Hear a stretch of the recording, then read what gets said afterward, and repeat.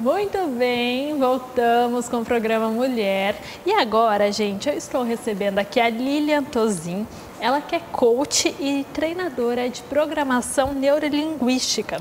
E a gente vai falar um pouquinho sobre relacionamento interpessoal. Lilian, seja bem-vinda. É um prazer te receber aqui no programa. Laís, é um prazer todo meu estar aqui essa noite com você, batendo esse papo. Obrigada. E vamos falar um pouquinho sobre relacionamento interpessoal. Isso que é um problema de muita gente, né? O pessoal enfrenta muito problemas interpessoais aí, não só no trabalho, né, Lilia? Em casa, com a família, com os amigos. A gente vê bastante gente tendo essas dificuldades de lidar com pessoas realmente hoje é um desafio o relacionamento interpessoal. Mesmo porque o que é o relacionamento interpessoal, né? Já é essa habilidade de você conviver com o outro, com pessoas diferentes de você, né? As pessoas funcionam diferente. Então, assim, elas pensam diferente, se comportam diferente, pensam, se comunicam diferente. E essa convivência em equipes, hoje você percebe, inclusive nas empresas, que tem excelentes produtos excelentes processos aí muito bem definidos, de produção, elaborados, enfim, uma gestão. Só que o maior desafio hoje é o relacionamento entre pessoas entre pessoas. Então esse realmente é um grande desafio hoje. E é difícil mesmo, né? Porque cada pessoa tem uma criação, tem uma crença, e a partir do momento que passa a conviver com outras pessoas, com crenças diferentes, tudo se torna mais difícil, né? Realmente. Exatamente, porque na verdade o comportamento do ser humano está baseado na sua história de vida, nas suas experiências, interfere diretamente como você se comunica, pensa. Então hoje é, o relacionamento interpessoal ele é um pilar mesmo da inteligência emocional. Hoje você tem condições realmente de se capacitar nesse relacionamento interpessoal, de melhorar os relacionamentos interpessoais. Porque geralmente a gente quer que o outro funcione do modo que a gente funciona, né? E a gente acaba exigindo isso.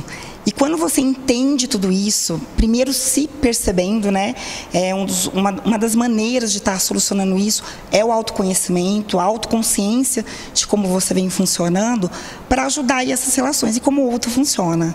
Então já começa aí por aí. E Lili, a gente está falando aqui, né, dando foco maior para a área de trabalho, né, para convivência ali num ambiente de trabalho, mas isso acontece em casa também, né? Sim. Muitas vezes a esposa quer que o marido haja como ela, quer que o filho haja como ele, o pai quer que o filho haja como ele, mas apesar de ser a mesma família, de ter a, talvez a criação cada pessoa é de um jeito. É de um jeito. Na verdade, quando a gente fala em relacionamento, tem grupos, né, que, como nós estamos falando, mas relacionamentos de casal, os conflitos hoje de casal, até divórcios, separações, é realmente dessa questão de não conviver, de não entender como cada um funciona.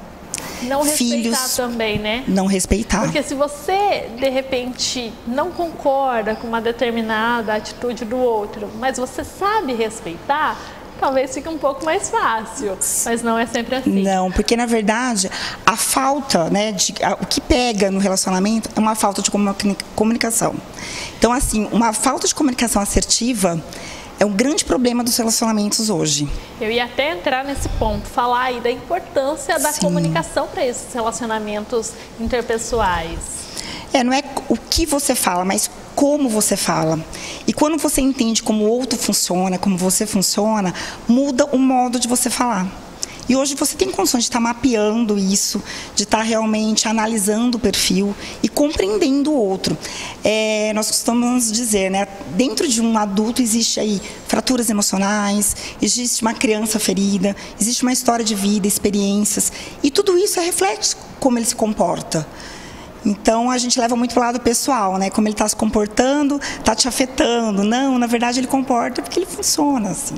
Eu vi isso essa semana e me chamou a atenção, viu? Uma frase. De repente, a forma que o outro te trata não é um problema seu, um problema com você, é só um problema dele, que ele Sim. precisa aprender a lidar e muitas vezes a gente acaba realmente levando para o lado pessoal, né? Sim. Porque ele está agindo dessa maneira, porque o problema é comigo. E muitas vezes não. É, e é onde entra daí a empatia, né? Se colocar no lugar do outro já é também outro pilar da inteligência emocional. E quando fala em relacionamento, tem que ter essa empatia.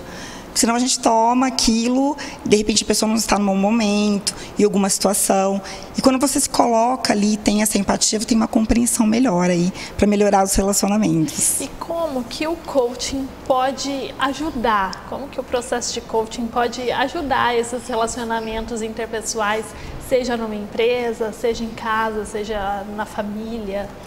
É que o coach tem uma metodologia já com comprovação científica que principal ponto ele acaba analisando o seu estado, vamos supor, A, né, o seu estado atual, o que vem acontecendo ali na situação e o que as pessoas desejam, qual que, qual que é o seu objetivo, a sua meta, o que, que você quer trabalhar. E o coach ele traz esse plano. Só que nesse plano ele trabalha o quê? Organizando e mudando esse mindset. Ele trabalha realmente, como você disse, as crenças aí limitantes, identificando e trabalhando, ressignificando, desenvolvendo o ser humano para atingir o resultado que ele almeja, em qualquer área, em qualquer pilar empresa, relacionamento, acaba assim trabalhando para você atingir esse objetivo na área que você almeja. Como que funciona o seu trabalho, Lilian? Só para explicar, né? De tá. repente o pessoal está em casa, tem dúvidas. Como que funciona o seu trabalho em empresas? É, são encontros semanais? Como que é? Sim, tem dois tipos de trabalho, né? Tem o individual, que são realmente sessões de coaching particular, né, onde você trabalha aí um ciclo de 10 sessões individuais, de uma hora e meia, duas horas. Essas sessões acontecem, ideal, uma vez por semana? Uma vez por semana. Então, a gente faz um acompanhamento semanal mesmo do indivíduo. E na empresa funciona muito grupo. Né? Então, assim, trabalho em grupos de pessoas para que seja desenvolvido isso, metas, objetivos, relacionamento. Então, você acaba observando, analisando o estado atual do que vem acontecendo e trabalha para que eles atinjam o estado deles desejado. Está sendo aí um planejamento dentro do grupo. O grupo tem muito realmente problema de relacionamento aí interpessoal, só que você consegue identificar o perfil de cada um, né, tanto de personalidade como de comportamento. Isso também ajuda, né? Porque é uma pessoa de fora enxergando Sim. tudo aquilo ali de fora. Então é uma outra visão também, né, Lívia? Com certeza. Então a gente acaba passando também esse mapeamento para que eles também compreendam. Né? Não basta só nós entendermos como cada um funciona. A gente passa essa, esse conteúdo, é, ferramentas para que eles identifiquem também com quem que eles estão lidando. Né? Então, é, esse é o nosso trabalho, de fazer esse planejamento. Tem ferramentas específicas para isso. Então é uma, vamos dizer assim, um processo de autoconsciência literalmente e de mudança. A sua experiência aí, Lilian, com a sua experiência, né? Qual que é a principal dificuldade nos relacionamentos interpessoais? O que, que você mais vê? A falta de comunicação. Falta de comunicação. Número um, com certeza. Ainda mais hoje, né, com, com essa ascensão das redes sociais, eu vejo muito isso Sim. também. É, as pessoas falam muito por mensagens, Sim. e aí, de repente, a pessoa falou de um jeito, a outra já entendeu de outro, Sim. e aí já cria um conflito que não existiria se aquela conversa tivesse acontecendo, talvez. É face a face ali. E as pessoas reagem, ali envolvida por emoções, é, com o estresse do dia a dia, com a correria do dia a dia, o que acontece? Ela não para, ela não processa para depois falar. Ela faz o quê? automático, piloto automático. Na verdade, as pessoas estão num piloto automático. O que, que acontece? Ela recebe, ela não ouve, que já é um problema também da comunicação não saber ouvir. Então elas nem ouvem, já estão preparadas para uma resposta e de imediato elas já reagem influenciado por suas emoções. Nossa, que legal. E tem vários temas, né, que a gente pode Tem muita abordar. coisa aí. A Lilian é especialista em diversos assuntos e esse é só o primeiro que a gente trouxe aqui, ó. Mas tem muita coisa, viu, que a gente vai trazer, Lilian. Eu vou até deixar o convite aberto Obrigada. Para que você volte mais vezes para a gente abordar mais temas. Para a gente compartilhar muita coisa boa aí, né, claro, para ajudar as pessoas. É isso aí. Com certeza, mas um prazer te receber. Prazer é todo aqui. meu, viu? E quero parabenizar aí pelo trabalho. Prazer. E é uma delícia estar aqui com você. Parabéns pelo programa também. Obrigada. Espero mais vezes mesmo aqui junto com a gente. Pode contar. E agora, gente, eu quero falar lá da Casa Cortinari. Casa Cortinari é a nossa grande parceira aqui do programa Mulher. Vocês estão vendo ó, os nossos papéis de parede, né? Tanto esse aqui da passarela, como esse aqui ao fundo, são todos lá da Casa Cortinari. E a nossa cortina, quando tem desfile, agora não tá dando para ver, mas quando tem desfile o pessoal vê a nossa cortina aqui que fecha a nossa passarela também é lá da Casa Cortinari. Por quê? A Casa Cortinari é especialista em persianas, cortinas, decorações, tem tudo para você deixar a sua casa ainda mais bonita. Vamos ver o VT direto lá da Casa Cortinari. Decore sua casa com cortinas e decorações da Casa Cortinari. Produtos de qualidade, acompanhando as tendências das grandes feiras de decorações e valorizando também o clássico e o habitual. Além de cortinas, você encontra persianas e papéis de parede variados para todo tipo de ambientes. A Casa Cortinari é referência no mercado de Marília e região. Ligue e agende seu orçamento pelo fone 3454 8054. Casa Cortinari, Rua 24 de Dezembro 737, em Marília.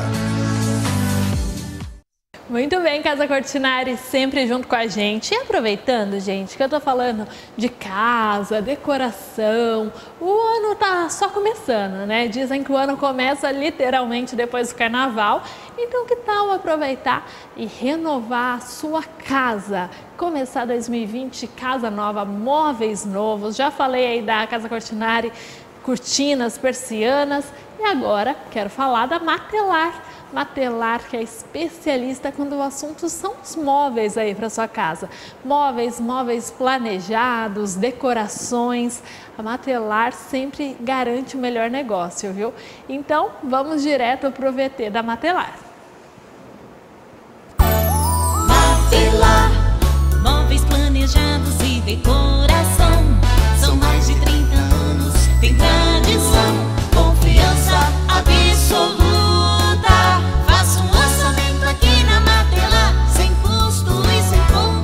Está precisando de móveis planejados, sala de jantar e estofado sob medida? Vem pra cá, eu garanto um bom negócio. confiança absoluta.